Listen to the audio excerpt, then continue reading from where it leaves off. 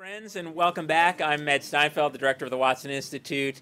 And of course, this is Ambassador Chas Freeman, who today will be delivering the, the final lecture in his three part series. Just to refresh your memory, uh, Chas, in um, lecture one, discussed diplomacy as strategy. And in, in fact, across all, both of the, the, the lectures uh, previously and the lecture today, Chas um, argues that diplomacy is um, the use of a type of power, primarily through words and, and, and, and, and negotiation, but power to get uh, counterparts, some friends, some adversaries, to accept changes in the environment, the international environment, that they may not have been naturally inclined to accept, but through diplomacy, they do accept ultimately, and accept in ways that serve the interests of the, of, of, of the country that the diplomat is representing.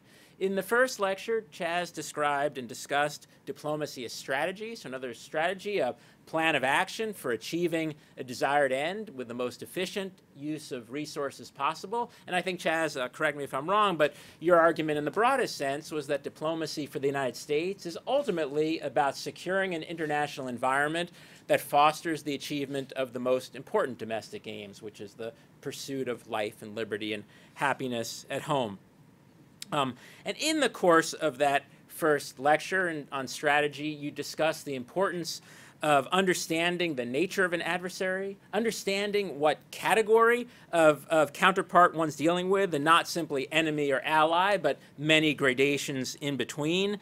More, moreover, understanding the um, multidimensional nature of the game that one is in in uh, diplomatic interactions, and perhaps uh, to me, what was most striking in that discussion of strategy, uh, understanding the importance of being able to redirect a discourse, often by changing the question that's being asked or changing the question that's being presented to the counterpart, and the fundamentally important strategic um, turns that have been made historically, by, partly by the United States, but also by other countries, through this process of restructuring the question that's being addressed. In the second lecture, Diplomacy is Tactics, uh, Chas presented the idea that not that diplomacy isn't just about strategy in the grandest sense, but diplomacy is is art and it's skill and it's a certain ability under a variety of circumstances to contemplate what the next step may be in any kind of situation and to contemplate what the first step should be before adversaries and counterparts really understand what those first steps are. And examples include decisions and processes about preparing for a war before one's engaged in a war, preparing in ways that prevent adversaries from becoming full enemies or that deprive adversaries of the ability to form alliances. A preparation before the war for understanding how to terminate the war. Preparation during the course of terminating the war for ensuring that after the war, peace and stability are maintained preparation or carrying out of a variety of economic strategies that may be more subtle than simply sanctions and that may be more effective than simply sanctions. Uh, the process of carrying out tactically or through art processes of negotiations, ones in which you understand what your counterpart, whether it's a friend or an adversary, how your, how your counterpart sees the world, what are the particular lenses that he or she is using, and therefore what are the leverage points you might have over that adversary or counterpart to get him or her to do what he or she would naturally be inclined to do, but that you want that counterpart to do. And today in this lecture, uh, Chas turns to diplomacy as risk management, which, it, my understanding, involves the prevention of bad things happening, and often the prevention of things, prevention in ways that outside observers may not recognize you're even doing something. But in the, your own quiet ways, you're creating environment, back to the first overall strategic discussion, creating an environment in which at home you can pursue life and liberty and happiness without being distracted by conflict overseas or high transaction high transaction costs overseas, which move your attention to places where they shouldn't really be, which is at home. Chas, let me turn it over to you. I'm eagerly awaiting part three. Well, thank you. Thanks. Whoops.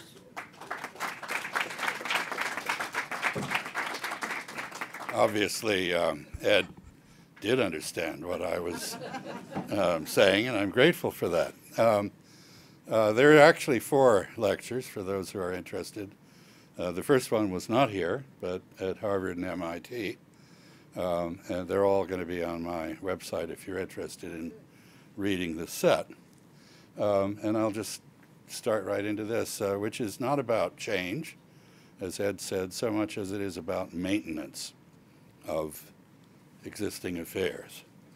Uh, at the basic level, diplomacy is the management of foreign relations to reduce risk to the nation while promoting its interests abroad. In this task, diplomacy's success is measured more by what it precludes than by what it achieves. And one can never prove that what didn't happen would have happened if one had not done this or that. But for the most part in foreign affairs, the fewer the surprises and the less the stress, the better. The ideal outcome of diplomacy is the assurance of a life for the nation that is as tranquil and boring as residence in the suburbs.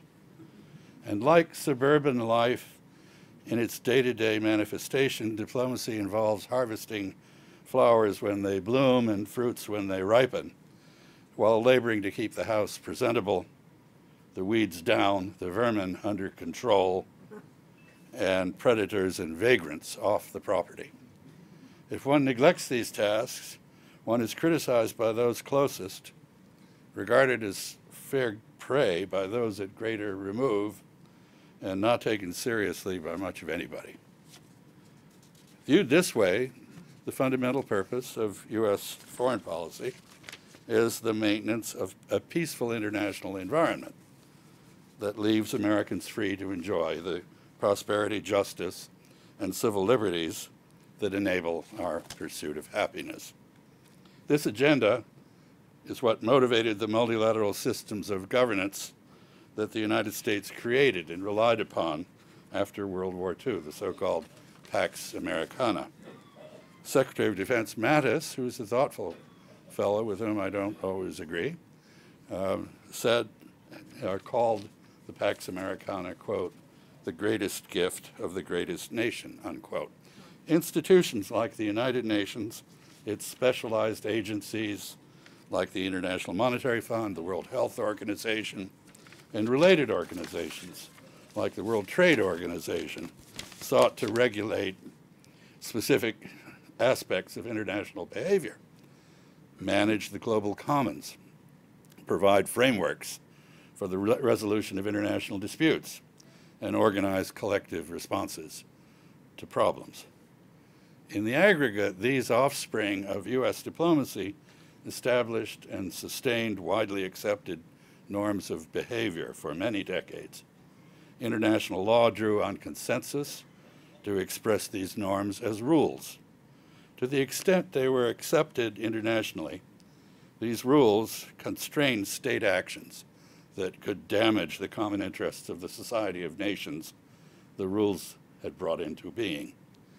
Despite its uneven performance, the Pax Americana assured a relatively high degree of predictability in world affairs that facilitated peaceful international interactions. It did so on the same philosophical basis as the rule of law in domestic affairs, a belief that rules matter and that process legitimizes outcomes rather than the other way around. Today, that philosophy and its ethical foundations are under attack both at home and abroad. For the time being, at least, Washington has set aside the rule-bound international order and the market-driven economic interactions it enabled. The United States is discarding the multilateral strategic framework that it built to restrain the behavior of lesser states in the last half of the 20th century. In its place, the Trump administration is experimenting with neo-mercantilist theories that seem to have been crowdsourced to right-wing talk radio. Washington seeks to maximize U.S. leverage over trading partners by dealing with them only on a bilateral basis. Trade and investment are increasingly government managed and hence politicized rather than freely contracted between private buyers and sellers. So far, it must be said, such bird-brained bilateralism is proving no substitute for the complex regulatory regimes it is replacing and the supply chains it is disrupting. With the fading of previously agreed rules of conduct, codes of conduct, and the principle of pacta sunt servanda, which means agreements must be kept, what could, could once be taken for granted in managing relations with other states must now be repetitiously renegotiated and reaffirmed bilaterally. But Washington has demoted diplomacy as a tool of American statecraft in favor of primary reliance on military and economic coercion. Escalating uncertainties are driving nations toward unrestrained unilateralism and disregard for international law. As this century began, the United States popularized contemptible practices like the assassination and abduction for questioning under torture of foreign opponents. A lengthening list of other countries, China, North Korea, Russia, and Turkey, to name a few, have now brazenly followed this example. Bad example. More issues are being deferred as intractable, addressed ad hoc, or dealt with through the threat or use of force. In this new world order, or disorder, more accurately, the need for diplomacy to tend fraying relationships is manifestly greater than ever. The Congress and the public, as well as the U.S. military, sense this. They have resisted efforts by the Trump administration to slash budgets for peaceful international engagement by the U.S. Department of State and related agencies. Still, the American diplomatic imagination has not been so myopic and enervated since before World War II. Nor have U.S. investments in diplomacy. Americans' expectations of their diplomats or international trust in the United States been so low. Diplomatic preparedness requires constant attention to other nations and their views, showing that one's government is interested in and understands what others think, encourages them to be more receptive to one's own ideas. Attentiveness to their needs, views, and doubts signals willingness to work together and cultivates willingness to cooperate in defending common interests.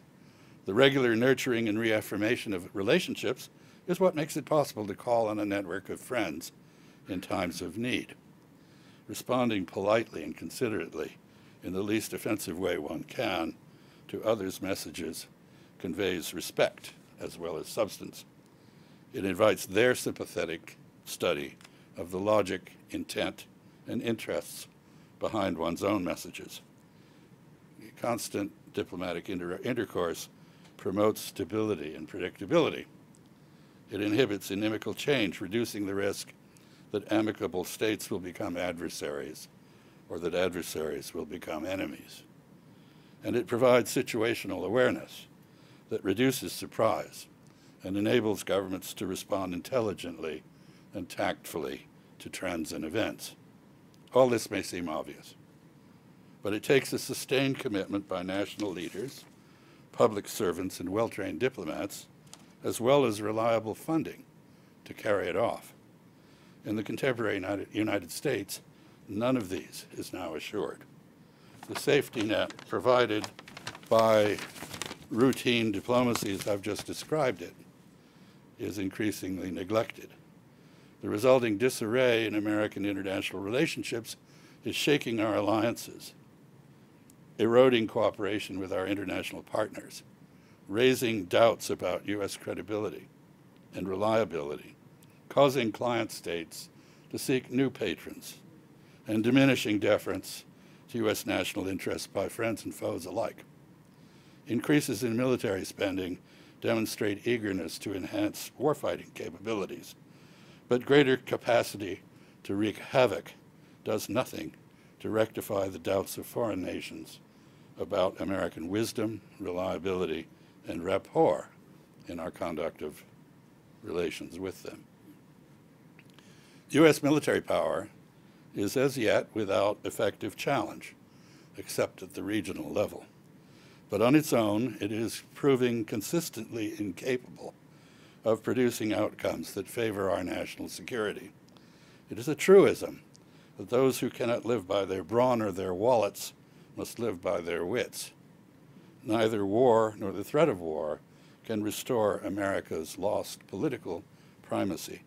Only an upgrade in American competence at formulating and implementing domestic and foreign policies, coupled with effective diplomacy in support of credible American leadership, can do that.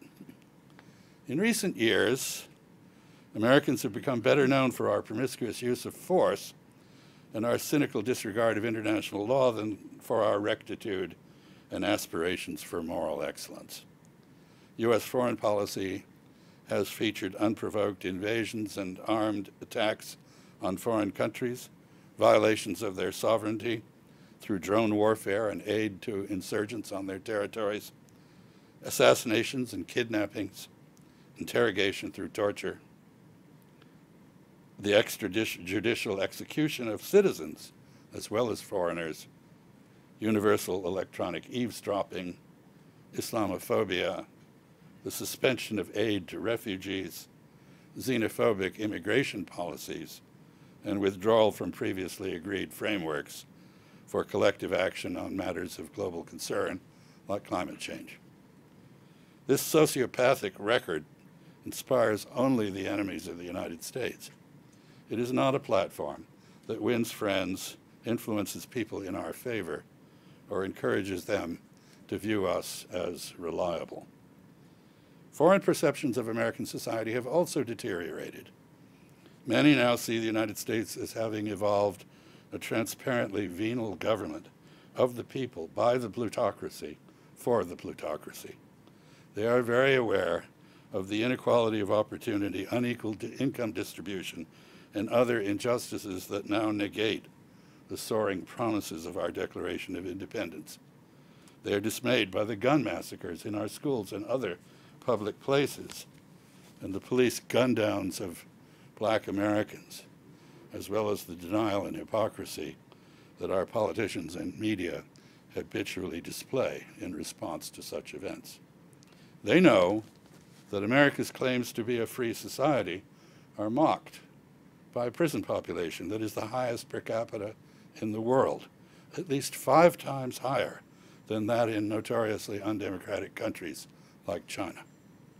They are sickened by reports of the bloated costs, gross inefficiencies, labor immobilities, lack of insurance for the poor, and high rates of maternal and infant mortality that result from the uniquely dysfunctional American public health system.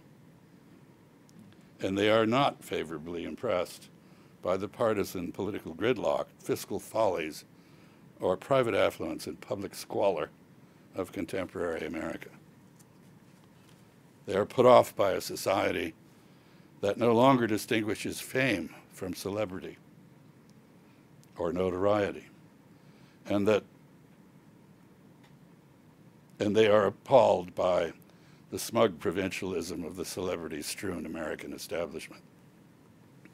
Foreigners once admired American exceptionalism for its aspirations to moral excellence. Now it is a byword for self-righteous complacency, thoughtless rejection of global norms of social justice, and unilateral announcements of policy that have not been preceded by consultation with presumed partners. Leadership without followers is a non sequitur, no pun intended. Non-democratic models of governance are currently outperforming ours in a number of ways. To challenge them, Americans need to recognize our deficiencies, address them, up our performance, and return to managing risks to our enjoyment of freedom and prosperity by carrying out the elementary chores of routine diplomacy. Only this can restore the foreign respect for our system of government and its leadership that has been the foundation of our international influence. Some diplomatic chores yield immediate gains.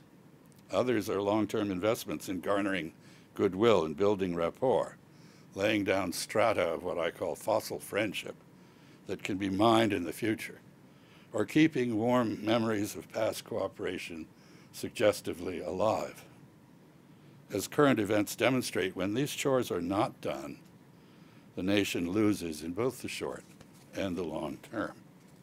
As an example of diplomatic work that generates near-term results, consider the help diplomats make available to businesses seeking to export their goods and services. Trade promotion is sometimes described as corporate welfare by ideologues, but the support to commerce that diplomats offer can be essential to ease access to foreign markets for American companies and to enable them to deal effectively with foreign laws and regulations. Export promotion is in the national interest as well as that of the companies and their employees who earn a living from exports. Part of any embassy's mission is to help American businesses do due, diligence on potential customers and partners and to introduce them to foreign officials and local, local business elites who can facilitate trade and investment. American ambassadors who've been properly trained to represent the United States see themselves as the chief U.S. trade promotion officers in the countries to which they are accredited. They and the officers from the Departments of Agriculture, Commerce, Defense, State, and Treasury, whom they lead, do what they can do to encourage their hosts to buy American. This, the exports that this work sustains, that this work, the exports that this work supports, sustain 10.5 million American jobs.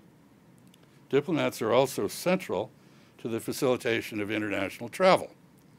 Diplomats specializing in consular work issue passports and visas, help citizens who get in trouble abroad, and facilitate educational exchanges. They thus enable travel in both directions for, ed uh, for education and tourism, as well as trade and investment.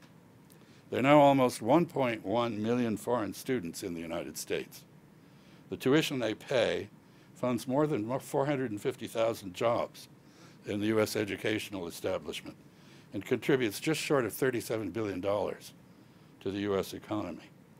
Meanwhile, foreign visitors spend about $170 billion annually on travel services in the United States, helping to support a domestic travel and tourism industry that directly employs over 5 million Americans and indirectly generates an, another 8 million or so jobs.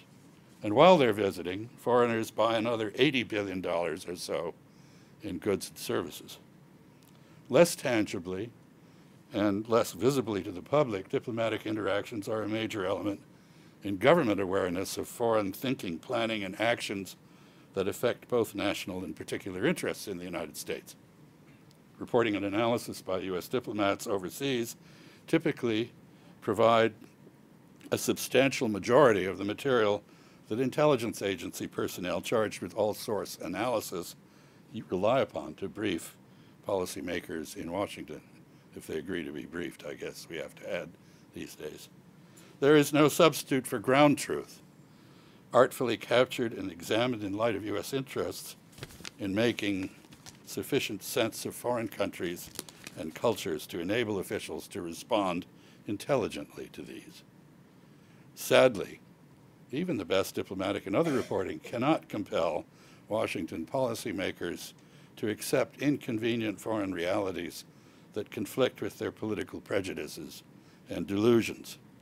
As the American statesman Chester Crocker has remarked, quote, surprise is what usually follows the collision of intelligence with an entrenched policy consensus, unquote. From time to time, such surprises happen, and Washington decision makers seek to avoid blame for their errors of omission by finding scapegoats, as the fate of the so-called old China hands, among others, illustrates. The declining role of diplomats in U.S. foreign relations and our increasing reliance on the U.S. military foreshadow future surprises from foreigners we haven't bothered to understand. If one relies on overthrowing foreign governments rather than on dealing with them nonviolently, there's no need to bother understanding them or their motives for taking the positions they do. A diplomatic presence adds value only, the extent, only to the extent that it enables face-to-face -face communication with the local authorities and their constituents. The cultivation of contacts in the host country is the key to collecting information relevant to statecraft, otherwise known as intelligence. It is also the most effective means of accurately and persuasively conveying one's government's views to the host government. But the global metastasis of anti-American terrorism that has led, the, has led the United States to fear local contact and to build embassies that are heavily fortified and inaccessible to all but their employees. The growing isolation of our diplomats impairs, even if it does not entirely eliminate, interaction with local officials and populations. It obstructs direct insights into the motivations driving popular opposition to America and makes the U.S. government dependent on information from other governments, some of which is bound to be self-interestedly manipulative. Cowering behind blast walls sends a message of fearfulness that bolsters terrorists' confidence in their ability to intimidate the United States and reduce its influence abroad. It turns embassies into attractive nuisances. It makes it easier for those seeking to isolate the United States abroad to do so. The principal beneficiaries of the cover your ass mentality that drives embassy fortification and isolation are government contracted security specialists, architects, and construction companies, not the diplomats they've been tasked to protect. According to both ancient tradition and international law, the protection of ambassadors and their entourages is the responsibility of host governments. Embassies should not be reconfigured to serve as centers of imperial administration. The turn to resident diplomatic representation representatives uh, that took place in the 16th century was not motivated by a desire to establish armed enclaves or citadels of extraterritorial power in foreign capitals, but to aid routine communication between sovereign states. Fortifying diplomatic missions and arming them against attacks by the local citizenry implicitly relieves host governments from their responsibilities to keep ambassadors and their entourages safe from harm. It helps them to evade domestic political responsibility for defending the embassies of unpopular foreign states from mobs. It may, in fact, incentivize governments to look the other way as protesters assault heavily fortified embassy installations. The United States needs to reconsider policies that generate terrorism against it. But Americans should also be prepared to withdraw embassies from countries that cannot keep them safe. In most cases, there's nothing to gain by condoning the failure of such countries to meet international standards for the maintenance of diplomatic relations and shielding them from the consequences of their irresponsibility. the physical security of diplomats is important, but information security is truly vital to their work. Honest discourse on sensitive matters requires reliable assurances of confidentiality, whether it is to lawyers' clients, physicians' patients, or diplomats' interlocutors. In democracies, the people have a right to know what policies their government is following and why. They have no legitimate interest in the sources and methods by which their government is gaining information from foreigners or influencing their decisions.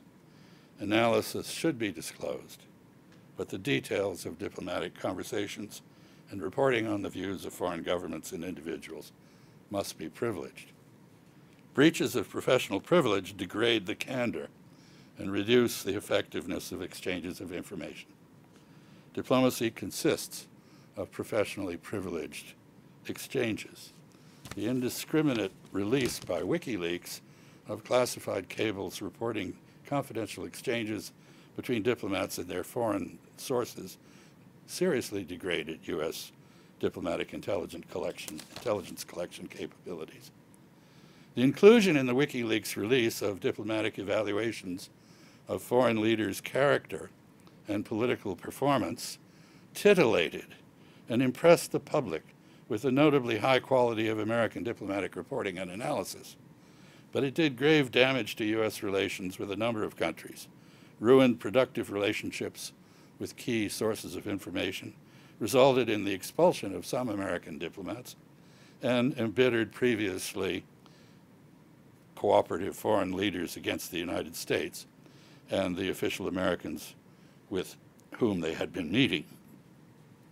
Fears of, of future leaks have caused American diplomats to report less honestly and fully to Washington than before. The same concerns about information security compounded by self-centered amateurs playing at diplomacy with an eye on politics back home have led to meetings with no note takers or the bowdlerizing of the records of American officials' meetings with foreign officials. Nobody has gained from the corruption of diplomatic record keeping by American officials, except perhaps the foreign competitors of the United States.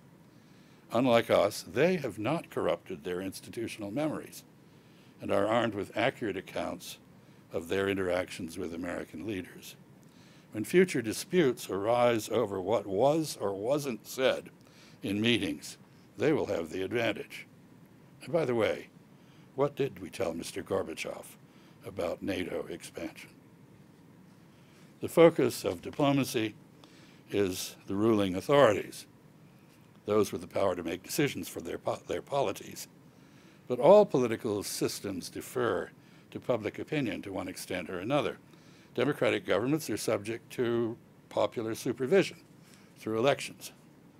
The democratization of politics in Europe a century or more ago led to widening recognition of the importance of public diplomacy. It also widened the interaction of legislators with foreigners. Technology then allowed them to travel abroad, allegedly on public business, uh, but often for personal enjoyment.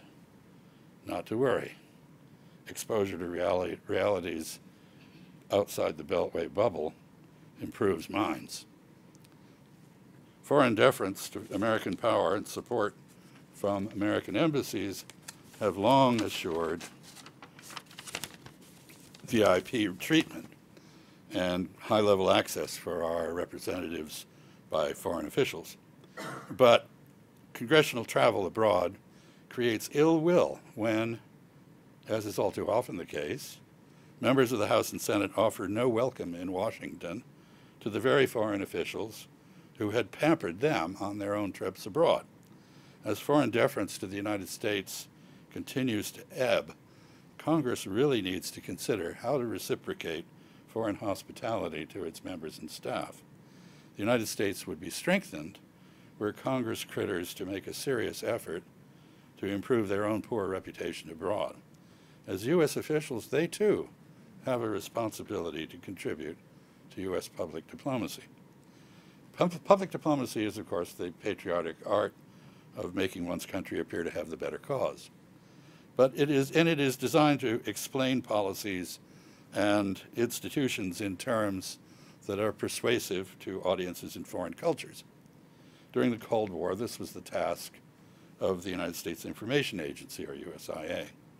Created in 1953, it was euthanized in 1999 when the Clinton administration determined that history had ended, CNN was on the job, and new private sector outlets like Fox News were about to ensure fair and balanced American coverage of notable events. Unfortunately, the extension of these media to foreign audiences has lowered the reputation of the United States abroad by directly expo exposing foreigners to the global yokelism of American celebrities and the ethnocentric prejudices of American popular culture. USIA's functions were severely downsized, then transferred to the Department of State, which has little or no credibility at home, still less abroad. There is now no significant corrective for the spillover to foreign audiences of our partisan media's politically motivated distortions of American policies and realities presidential tweets have just exacerbated this problem. With relative U.S. influence in, in, on foreign elites in decline, a future, more orderly administration will almost certainly want to restore the capacity of the United States to disseminate reliable information on U.S. policy and to introduce the higher elements of American culture to audiences overseas. The Secretary of State's probably the right cabinet officer to oversee this function, but the Department of State may not be the right place to house it.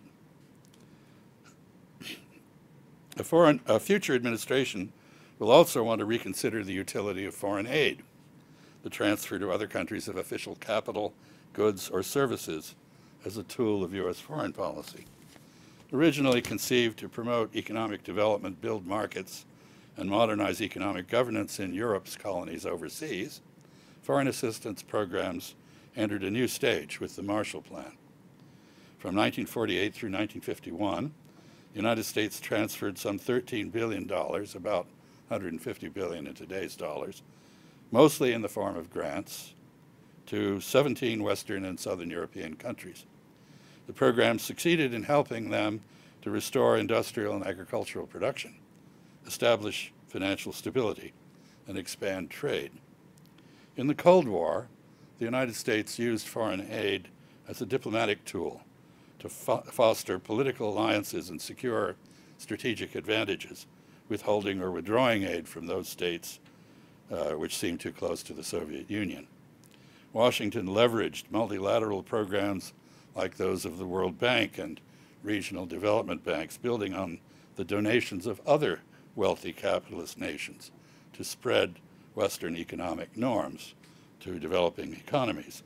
But development specialists were increasingly marginalized as aid was bent to the service of military interventions and other political projects.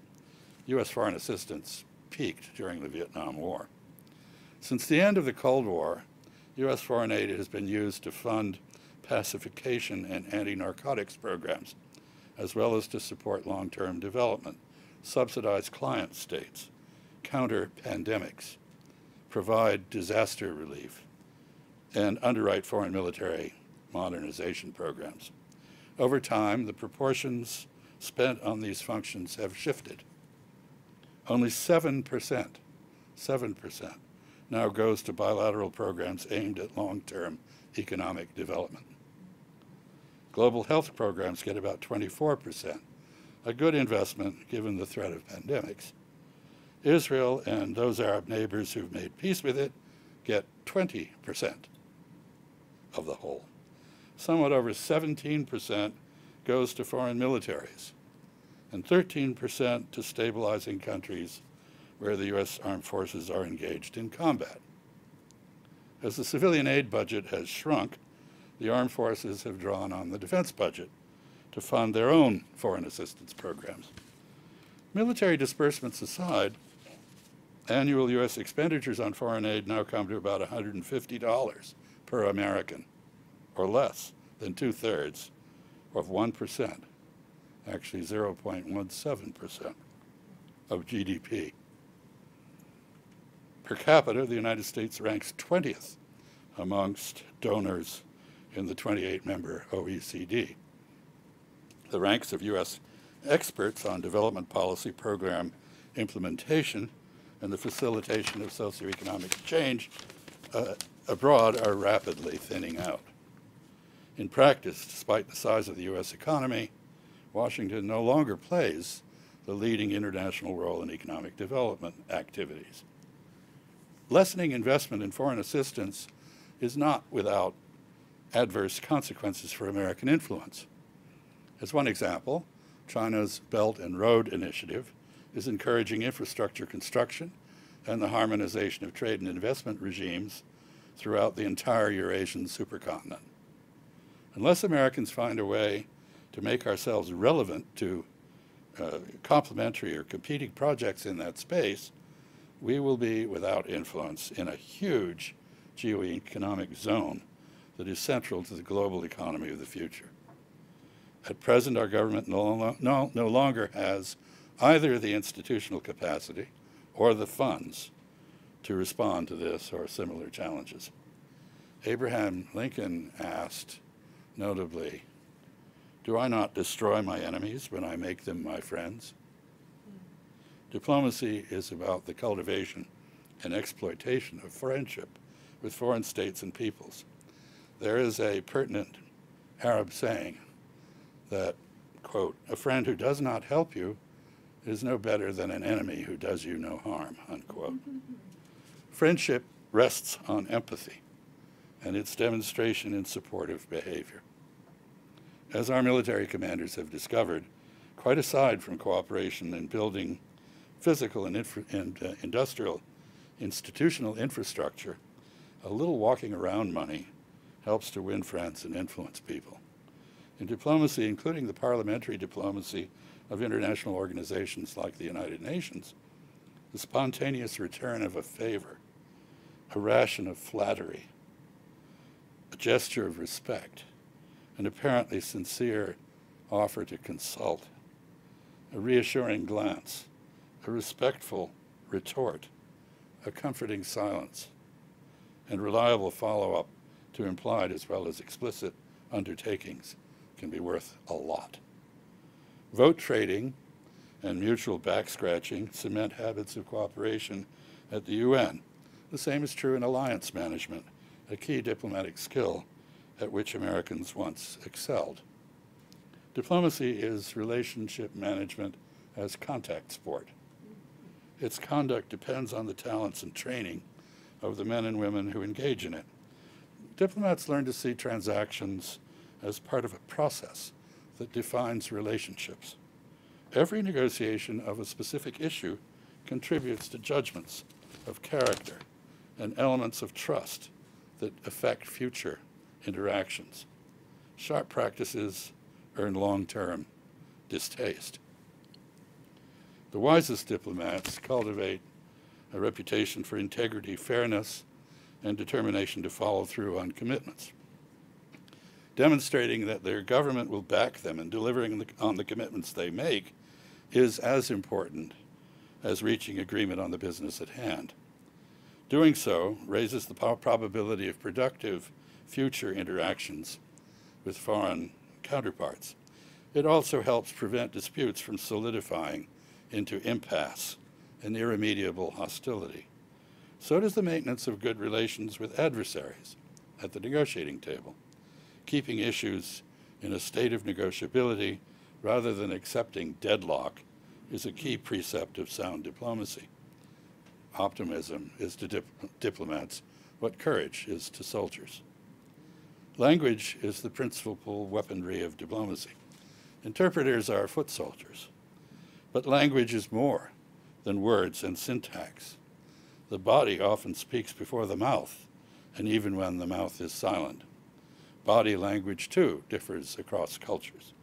The widespread use of English as a lingua franca has not obviated the need for diplomats to learn foreign languages and how to communicate effectively with their native speakers, nor will the perfection of machine translation do so. Mastery of a language in all its dimensions is a path to the avoidance of the kinds of misunderstandings and miscalculations that give rise to conflict. It's essential to understand how the native speakers of the language think. That is the sine qua non of transnational communication and cooperation. Ability to think in the language of one's foreign counterparts is also the antidote to the classic sin of home based analysts, ana- analysts and their political masters, the tendency to view one's foreign partners and competitors as mirror images of oneself. It is a grave mistake to project one's own values and thought processes onto foreigners rather than considering their perspectives and proclivities in their own terms. Many instructions for diplomatic démarches written in the political hothouse of the capital are composed as much or more for the domestic policy community as for the ambassadors who must execute them in the field. But the delivery of démarches is ultimately a personal and oral, not an institution institutional or written art. Early on, ambassadors learned to focus on the results these instructions aim to produce, rather than on the suggestions on how to produce their arguments that accompany them. Diplomatic instructions are more often than not written by diplomatically inexperienced courtiers and securocrats who are seldom aware of locally prevalent prejudices and sensitivities or who are inclined to be dismissive of those. But it's the outcome, not the original packaging of the message, that counts, however appealing the packaging may be to folks back home. One of the reasons for staffing the State Department and other foreign affairs agencies in Washington, in part with diplomats, foreign service rather than civil service, home-based officers, is to ensure that foreign policy objectives and instructions to the field on what must be done to advance them are realistic and feasible. Sometimes, however, political pandering and bureaucratic brown-nosing of powerful policymakers overwhelm experience and expertise. In the course of my own 30 years as a diplomat, I was asked to arrange many things overseas that the local context made obviously counterproductive. Fortunately, I'd been born with a sense of the absurd and a gift of laughter. I have al almost always had fun trying to arrange the ridiculous things I was asked to arrange, even if, as is usually the case, I failed. I very seldom question an instruction, no matter how bizarre. Occasionally, I actually succeeded in bringing off some bizarre maneuver conceived within the Beltway, notwithstanding how preposterous it was. But there is one instance that illustrates the gap between Washington and foreign realities so well that I cannot refrain from sharing it.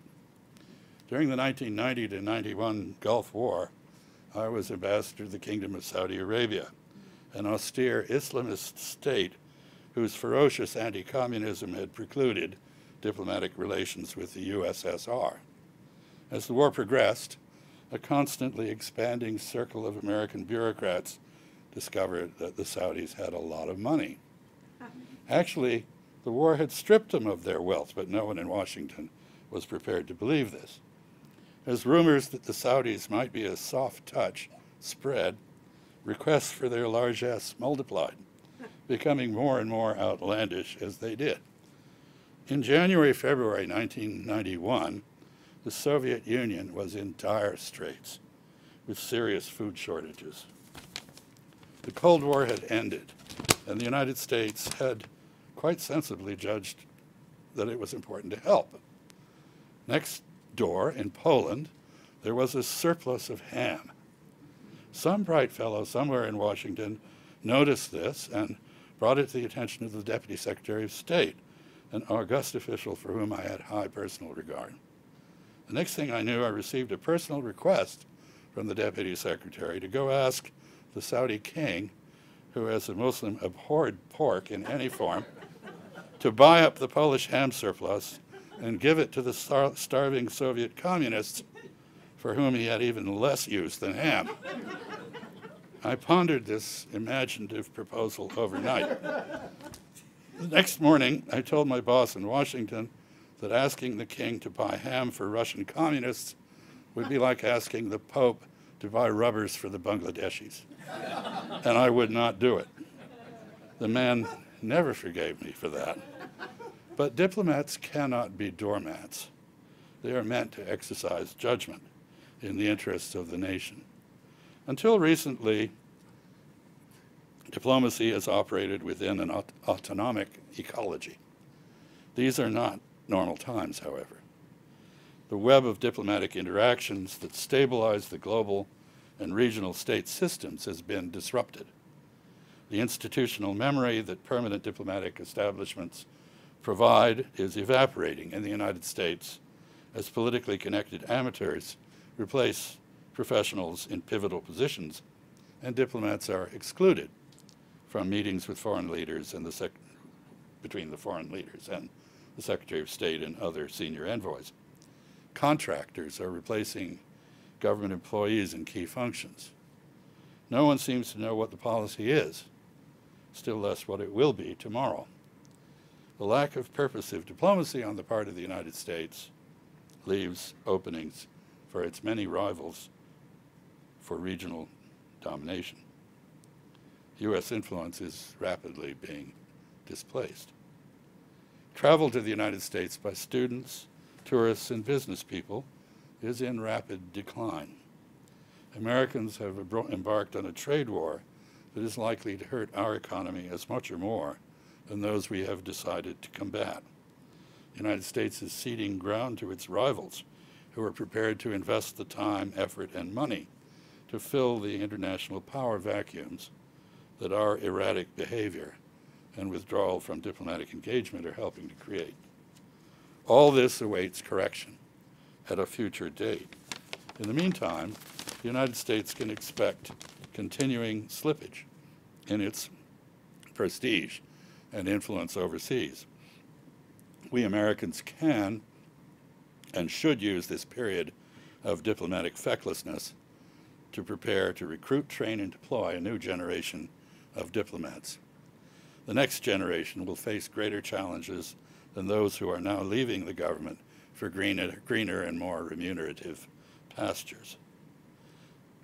They must be more competent and professional than their predecessors if we are to regain the ground we are now losing. In the three lectures that I now conclude, I've sought to explore the basis for a body of diplomatic doctrine that has yet to be compiled. As a nation, we've become overdependent on our armed forces to defend our interests abroad. I believe that, event, that events will eventually compel our elected leaders in Congress and the White House to search for alternative instruments of statecraft with which to advance our national interests beyond our borders.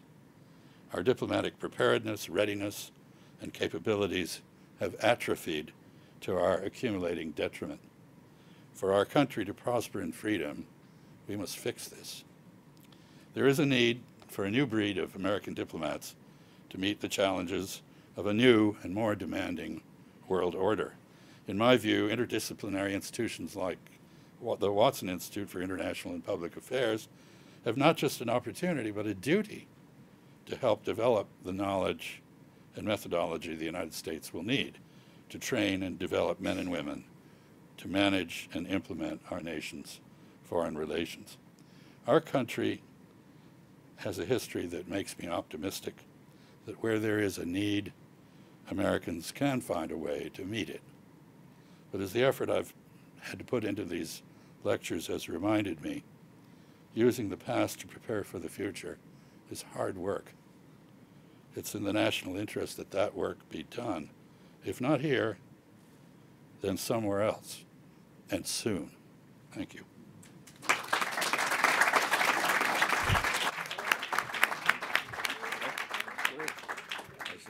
Chas, th thank you so much for that lecture and for for all of the, the lectures in the series. Uh, maybe I'll lead off with the first question. I, am not sure I, I, can really articulate this as a question, but I'll, I'll try.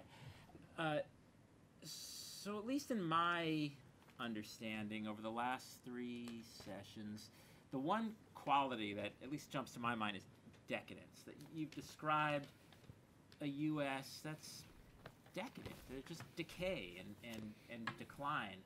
And I guess my question is decay or decline from what exactly?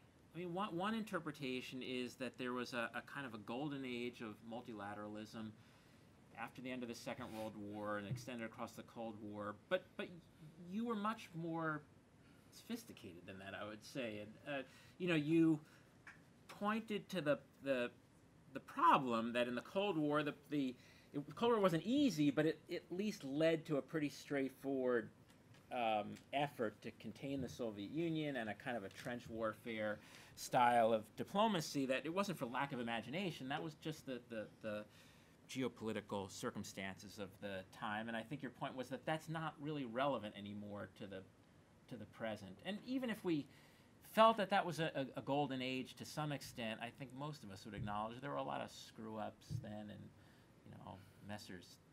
Allende and and uh, Diem and and uh, most of the you know, many people would would point to screw ups of various kinds, and those those happen. So it doesn't seem that there's really a golden age we could point to as a, as an, a model for the future. And if we turn to the future, I'm not sure that diplomats are the ones that you're suggesting should provide the answer. To put it differently, it sounds like you're asking for a, a much different and much more creative way to think geostrategically. And that's about a maybe a foreign policy elite, but it's about more than it may include diplomats, but it's about more than diplomats. It's about leadership and about the way the public and elites think about the world and think about geopolicy. And I think you've been very fair in criticizing the Clinton administration, the George W. Bush administration, the Obama administration, and now the Trump administration in failing to be creative in its in, in their respective um, geostrategic thinking. And I, I guess that leads to the third piece of this question, which is to say if it if it isn't diplomats exclusively who are going to come up with this geopolitical thinking, what really is the point then of focusing on training better diplomats? I mean, what is the role of the diplomat in this process of coming up with a more effective and creative way to think about the world? Very complex and very relevant um, question. Um, you, e- you began by ec- um, echoing Clemenceau. I don't know if you were aware that you were. I was not, but I'll take I'll take he, he, he said the United States of America is the only, after encountering Woodrow Wilson, he said the United States of America is the only country that proceeded directly from barbarism to decadence without undergoing a period of civilization, um, which was a little unkind, I think. Um, um, I think the broad answer is um, uh, that uh, a diplomat can be no more effective than the leadership in the society that he or she represents. Uh, so the ultimate answer is um, action by citizens, their leaders, raising civil civic literacy about diplomacy and the issues that I've been discussing, because this really is a realm in which I am convinced uh, we can find uh, historical examples that provide suggestive responses uh, to problems. There are very few problems that in the course of the last 4,000 years of recorded history have not occurred somewhere. And um, the, as to why um, we are having the grave difficulties we are um, uh, coming to grips with change in the world, and I agree, there was no golden age. Um, we came into the world as a major actor with no experience. We did what amateurs do. We learned on the job. Uh, we had a brilliant beginning, actually, with uh, the creation of key institutions after World War II. But we fumbled a lot as we went uh, forward. Uh, and there are things we can learn from those fumbles. But the context then, as I've said in, not today, but in previous lectures, was very different from the one we now confront. There were rules. The world was divided into two blocks. Diplomacy's function was to hold the line. It was the equivalent of trench warfare. You didn't want to let the other guy pass into your sphere. Occasionally, you'd send a patrol out into his and hope it came back. Um, but basically, you were, in, you were conducting positional warfare. There are no rules now, or fewer. The rules are being are going away, not by the way being torn down by China or even Russia, but by us. Um, even though we accuse others of destroying what we call the rule-bound liberal order, uh, we are the principal instruments of destruction. The rules are going away. Uh, there is no organization of the world into competing blocks. If there is an ideological competition, it is a subset of a competition for deliver, delivering goods and services, government performance. Uh, China, for example, has no ideology that it can explain, let alone export. But it is trying to demonstrate an example that will inspire people to look to it and derive their own conclusions about how to do things. That is something that the United States historically attempted to do too. Uh, we didn't go abroad imposing, for the most part, imposing our way of life on people. Uh, we tried to demonstrate a good society at home and hope that people would be inspired by that uh, to follow us. Um, so the statecraft of the Cold War is very different from the statecraft that is required in the New Age. But we went through a period which uh, Charles Krauthammer um, called uh, the unilateral moment, um, unipolar moment, after the end of the Cold War, when we believed we were omnipotent. And having proven the superiority of our system in our view, that we were also omniscient and that we were invulnerable.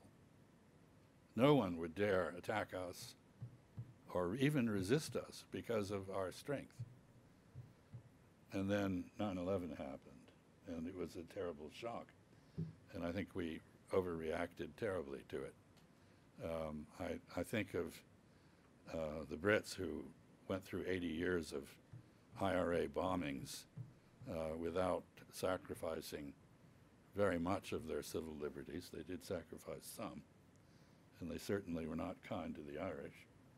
But um, we threw out a lot of what we were allegedly trying to protect after 9 11.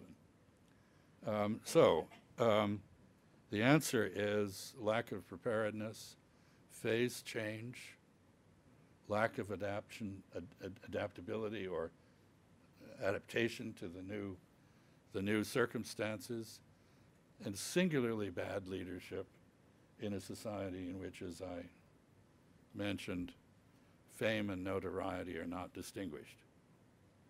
A um, semi-retired uh, prostitute uh, has the same weight in our news cycle as the President of the United States. Maybe she's gets that because she's smarter and has her act together more than than her opponent, but that is neither here nor there. The moral equivalencies uh, are really uh, amazing. Uh, we used to have exercise judgments that we now refrain from doing, and we revere celebrity, and we elect people to high office precisely for the reason that they are celebrities, uh, despite the fact they have no relevant experience. So when uh, Donald, Donald J. Flip Flop Trump uh, began to um, show that he wasn't up to the job, uh, there was a movement to draft Oprah Winfrey, um, whose qualifications in some ways are considerable, uh, but the President of the United States is the world's largest management job, and I don't, aside from her membership in the ranks of plutocrats, um, I don't see what was that was about. Um, so we have a combination of uh, ignorance of our own history, of the nature of international relations, um, inertia. We have a huge establishment that has vested interests in continuing to do everything the same way. Um, I'm urging everybody in this room to watch Korea uh, in that regard, because as I've suspected, it's the South-North interaction, not the U.S.-North Korean interaction, that is the most pregnant with change. And um, uh, I just urge you to watch that space. I might be wrong. Um, but um, in any event, we need to prepare ourselves to deal with a world in which we can no longer snap our fingers and people will jump too. Uh, we need to work at influence abroad. And in order to do that, we need to figure out what we want to do. We have to stop starting wars and then asking generals to tell us what they're about after the fact. Um, and uh, doing what George W. Bush did. When are we going to end the war in Iraq? When the generals tell me we can. Whatever happened to civilian control and leadership? Uh, anyway, uh, we have a severely, you used the word decadent, I would say degenerate, um, political system. Uh, it needs fixing. And it it isn't going to get fixed by anybody but us. People in this room and others who are worried about it have the capacity in our society to change things. We have to do it. Thank you. You asked a complex answer, I gave you a turgid and incomprehensible answer. Thank you. Questions? Do you want to field them, Chas, or do you want me? And It's okay, you can go ahead. Yeah, there's a question over here. Uh, Thank you for your time again, sir. Um, So one of the things you brought up is the way, uh, Amer, or one of the things for discussion is the way America chooses our ambassadors is very different from how countries who take this far more seriously than we do do things, and even historically. Right. uh, and Our, our preferred method of political appointments over career officials who actually know what diplomacy is before they get there. Right. Um, What are your thoughts on changing the system? Um, well, nothing has changed for many years. Um, um, I treasure a fragment of an editorial from the 1857 New York Herald Tribune, uh, for which Karl Marx wrote, um, but he did not write this editorial.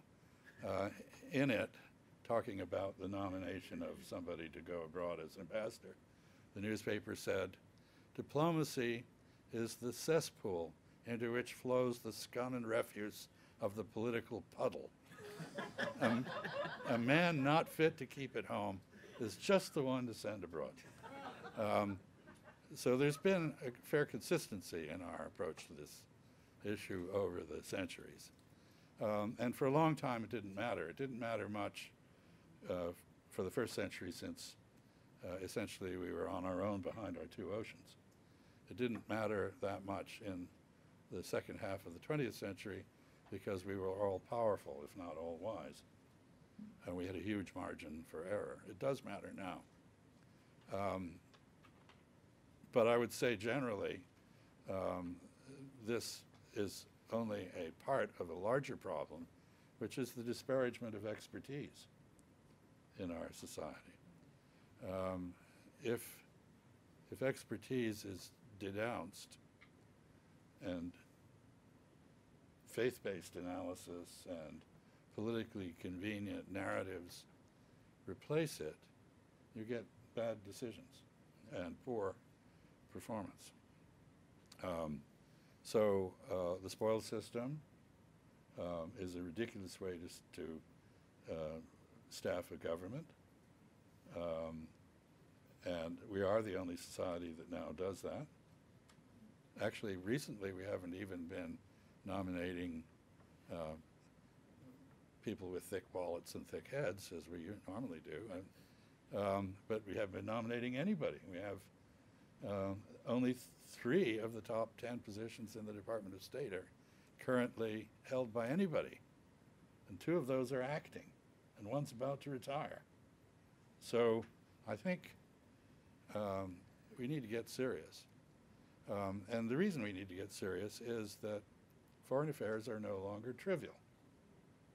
Um, they are, we're involved in a world, we still have the advantages of geography, which I've talked about before. I won't, I won't quote Bismarck this time. Um, but uh, we need to, uh, we need to do better. And it does start with the appointment of personnel. Anybody who's done management, this poor fellow, for example, um, will tell you that 60% of it is personnel selection and nurturing, mentoring. How on earth can someone who's never done a job and doesn't even really know what it is mentor the people who are working for her or him? Uh, they can't. Um, so this guarantees, and this is the importance to me of doctrine. Doctrine uh, contains the accumulated lessons of a profession, uh, and it is amended and emended as it goes forward, and experience is recorded in it. Um, but if everybody's an amateur, there's no doctrine. Um, Uh, Here we have one sort of very nice example. Apparently, well, depends on the time of day, I guess. Uh, we might be going back into TPP, we think. The fact that nobody out there wants us to come back on the terms that we think we should is a problem. And as I said the other day, we are going to increasingly find ourselves um, on the outside looking in and trying to uh, recover the positions that we've voluntarily given up. Questions? And all the way in the back? Without a sort of uh, stalemate in, in U.S. national politics, particularly Congress, uh, I think your analysis is spot on, but how do we, how does the rubber hit the road in terms of having any kind of meaningful reform? Well, that, that of course is the sad thing, that uh, we have Tweedledee and Tweedledum in terms of two parties that are not focused on government performance, uh, but on um, something else. Whatever it is, personal, personal aggrandizement, uh, wealth, influence, power, uh, waiting for the revolving door to get out to K Street and strike it rich, advancing some objective that is peculiar rather than at the national level. Um, our system, the Constitution is written with a separation of powers, which in many respects is now violated. But the separation of powers is real between the legislature and the executive. And the only way our system can work is for people to compromise, to bargain, to do deals, to reach accommodations. Our politicians are now behaving like po- politicians in a parliamentary system where winner takes all. What the minority party does is of no consequence whatsoever to policy, except in terms of its prospects in the next election. So you can have a totally irresponsible opposition, and you still have a you still have a government that makes decisions and things go forward um, because the executive and the and the legislature are merged. Um, if we are going to go on this way, we're going to have to seriously consider um, the adoption of a parliamentary system. Um, horrors. You know, that's what we supposedly, well, it wasn't really such a system in, um, in the 1780s when we became independent. Uh, it evolved later. Uh, but um,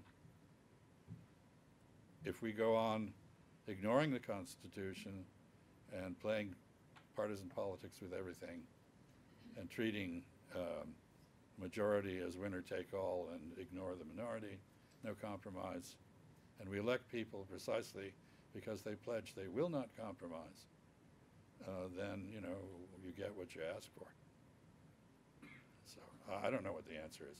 I mean, there, this, this is a, now a deeply rooted disease of our political system. Maybe Aristotle was right about democracies, uh, you know, basically, uh, in the end, evolving into uh, autocratic, autocratic government because they fail. Question? Yes?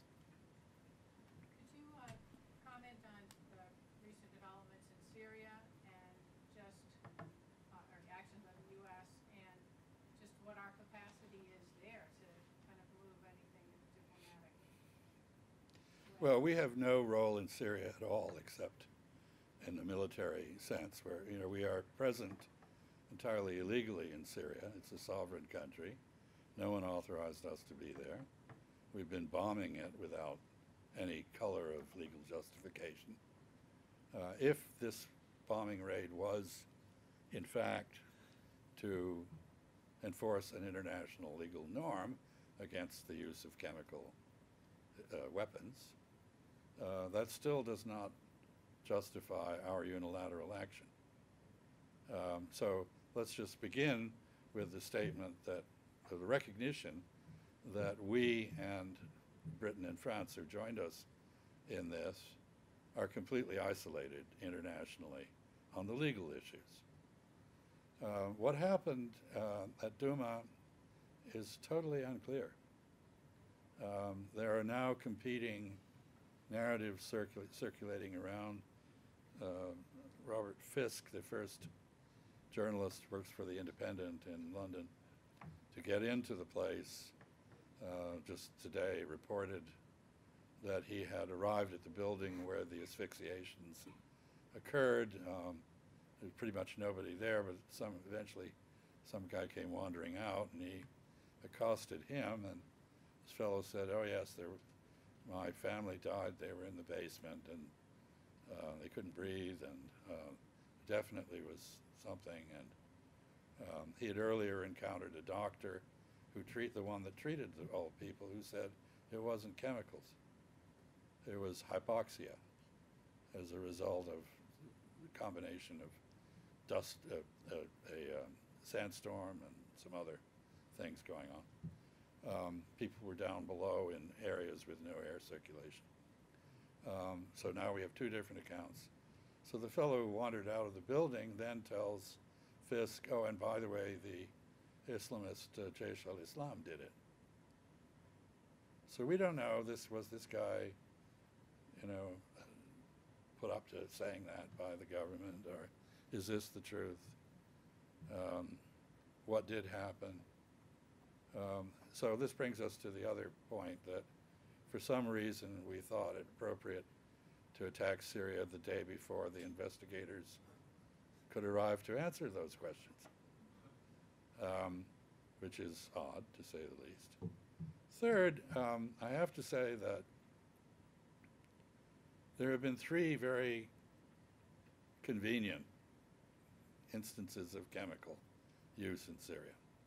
The first, if you recall, was when UN inspectors had just arrived in Damascus and were there to almost witness directly an alleged chemical attack by the government. And this provoked President Obama into asking Congress for authority to bomb Syria, um, which was denied. Um, so the question is, why would the government of Syria want to, in, because they knew the response would be an American attack, why would they want to stimulate that? Why would they wait until UN inspectors turn up to pull a chemical attack? That's the first one. The second one, which was last year, um, came in a place where the Islamists were on the run and losing. And just as the government forces were about to do them in, there was another chemical attack, which saw the United States intervene on, on the side of the Islamists against the government. Duma is in the process, it's in a mop up stage. It's essentially now been pacified by the government. Why, as that was happening, would the government do something that would certainly result in a foreign attack on it? Uh, doesn't make sense. So there's something missing here. Um, and I guess I'd sum up the whole thing. And by the way, the attack didn't do anything to anybody. And we deliberately told the Russians, uh, who told the Syrians what we were going to do so there would be nobody killed. Um, and um, so it hasn't changed the course of the war. Uh, it just blew up some facilities. So we have a, we have a situation in which fake news uh, has led to bogus um, retaliation um, against uh, unknown uh, perpetrators who whose guilt has not been established. Uh, that's about as confused a policy uh, arrangement as you just think about it. Fake news, bogus retaliation, perpetrators unknown. Um, so it, this is not our most impressive hour. And to use the term mission accomplished, um, right before May 1, um, I'm going up on Capitol Hill, May 1, with uh, Colonel Larry Wilkerson to celebrate the 15th anniversary of the declaration that the fighting, Rumsfeld, fighting is over in Afghanistan. And Bush, combat operations have ended and democracy is in sight in Iraq. Um, uh, you would think we would try to learn from that sort of thing, but evidently not. So I, I don't know how to answer your question because I have no idea what happened and what we did hasn't accomplished anything and it's rather hard to make sense of it. And I don't trust the Russians or Assad or the Islamists or frankly our own people. Uh, Just a quick follow-up on that, Chas. The, fir- your, the first part of your answer was about the, the international rules, which is, I think, a, a reasonable answer, but that's, I guess, a, a lawyer's perspective. Or, and one focusing on norms of, of international. Yeah, either there are rules or there aren't. Yeah. So we're behaving as though there aren't. Right, the rules, reasonable. Second part of the response was about the facts, reasonable, which I, partly is about intelligence and understanding what's happening on the ground. But what I didn't hear was a some kind of geostrategic take on wh- what does being in Syria mean over the long run, or what does absenting oneself from Syria mean over the long run in the grander scheme of the Mid East and Sunni, well, Sunni Shia split and Yeah, now that is a, it's a very good question. And what being in Syria has meant uh, uh, has, uh, has been to re-empower the Russians as the principal diplomatic actor in the Middle East. Uh, since they have played this cleverly and we have not. Um, you, we have, we followed a policy under President Obama of simultaneously opposing the regime and its enemies, both. Um, so anytime the Islamists would make ground against the regime, we would bomb the Islamists. Every time the government would make take make ground against the Islamists, we'd bomb the government. Uh, we spent billions of dollars training people. I could have told, in fact, I did, uh, now that I think of it, based on, if you read Machiavelli, he has a wonderful section on why you should never rely on exiles um, who tell you what you want, you want to hear and who have their own agendas when they go home. And uh, we've had many examples of this. Um, and, you know, basically what we did was we, we found the Syrian opposition in the various bars and cafes of uh, the great capitals of the world. We rounded them up, we beat their teaspoons into swords, and we sent them over the border. And, uh, and, you know, in pretty short order, they turned over the teaspoons and the guns and everything else to whoever it was that captured them. So billions of dollars in training, no combat force produced. Why? No strategy, no purpose. And, and I think, frankly, the worst thing about the wars we're engaged in is they don't have a purpose. So that basically invalidates the sacrifices of the men and women and the treasure that we're lavishing on these misadventures. According to the Watson Institute uh, project on the cost of war, we are now involved in combat in 76 countries. Go back to 2013, it was two, I think. So if Rumsfeld is right and the measure of success is whether you're creating more terrorists than you're killing, that's what we're doing. We're creating more terrorists than we're killing. And there will be a day of reckoning over Syria. There- are 600,000 dead Syrians. And to attribute that to the government is nonsense. There was a war. We were both on the side of the government and against it. And the people that we supported, whether they were the government or the opposition, killed a lot of people. And I think the, the, we cannot escape responsibility for that. But apparently we are. Uh, President Trump just canceled the, our contribution to Reconstruction. in Syria. And we're not taking refugees, even though we created 11 million displaced people, 4 million of them abroad. So, uh, you know, these are illustrations of a, a pattern of behavior uh, that is self destructive in terms of the regard of others for us, and I think for our, our self regard, which is pretty important.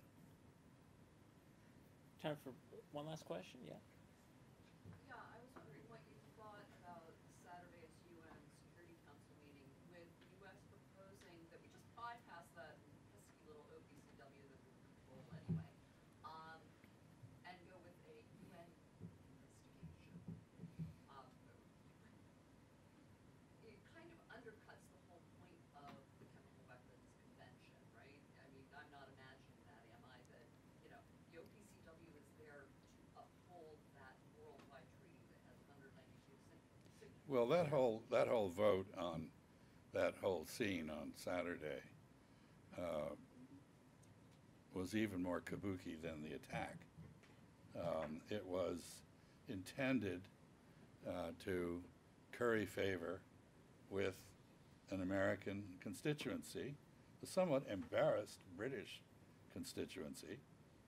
Um, The British representative uh, actually tried to tie um, the intervention in Syria uh, to uh, the concept of uh, the responsibility to protect, uh, which of course has been rejected by other members of the Security Council, so has no standing. Um, so, no, it was all theater. Um, the reason for bypassing the cognizant organization was that we wanted political results not factual results. And, you know, there's nothing wrong with that. Um, that is uh, a, a, a legitimate purpose of calling meetings um, or acting in them. Um, but it is totally unresponsive to the underlying question of what do you do to prevent the proliferation and use of chemical weapons. So evidently, that's not a, not an objective of ours anymore. Uh, So I can't give you a better answer than that. Well, Chas, let me thank you for a, a wonderful lecture today, and even more important, a wonderful series of three lectures. As always, you have expanded our thinking. Uh, I, as I said a few sessions ago, you haven't left me and probably most of us with uh, renewed optimism, but certainly with uh, renewed thinking about really troubling and, and uh, challenging times. Thank you, and please join us outside for a reception. Thank you very much.